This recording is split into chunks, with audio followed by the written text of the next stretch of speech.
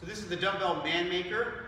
So it's basically similar, it's a, it's a burpee and a renegade row in one. So from here, core is always engaged.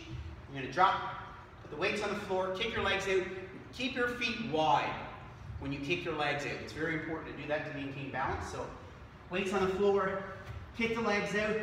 You're gonna push up, then you're gonna row, row, and then you're gonna jump your legs in, and then put the weights to your shoulders from this position, and then you're gonna jump, squat, putting the weights overhead. So from here, weights on the floor, kick the legs in, complete a push up, row, row, jump back in, jump up, push up, row, row, jump in, weights to shoulders, jump up.